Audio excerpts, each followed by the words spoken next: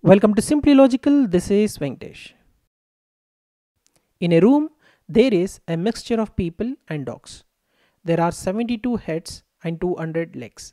How many dogs are in the room? Remember, there are no tricks, no chromosomal abnormalities, no disabilities. Feel free to pause the video and give a try before checking the solution.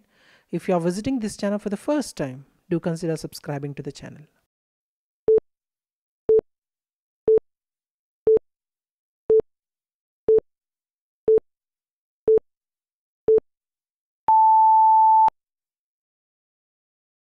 Let me explain the solution now.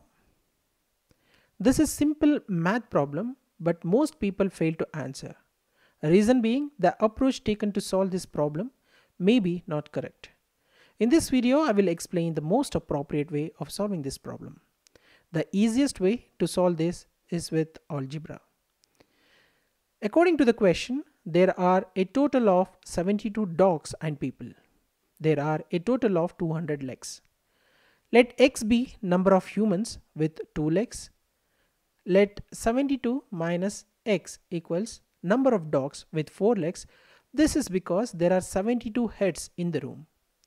Since there are 72 heads and 200 legs, and there are 2 legs in humans and 4 legs in dogs, we can write the equation as 2 times x plus 4 times 72 minus x equals 200.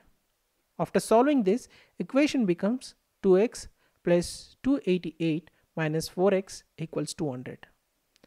Further solving this for x, the equation becomes minus 2x equals minus 88 and thus x equals 44.